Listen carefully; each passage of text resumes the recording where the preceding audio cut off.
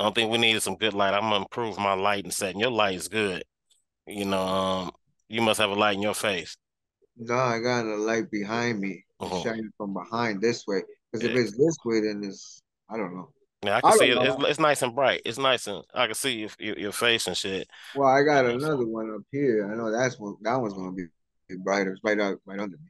Anyway, Yeah, but that's that's that's uh man. I was that's cool, bro. I could down. sit down with you and shoot the shit like forever, man. Shit, yeah, shit, yeah, bro. And then what I'm saying? and let's try to get let's let's go and try to um harden up and monetize this shit, bro.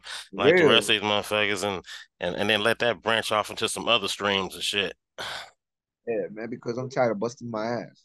Yeah, because at the same time, bro, you know, like I said, you you know that's why I threw the this, the background back here. So in certain ones, I change his background and have like like the logo up back there, or I have a a, Yeah, a, office building. Uh, uh, uh, yeah, it's one that's nice. Um, you you would swear you was actually sitting in the fucking office room.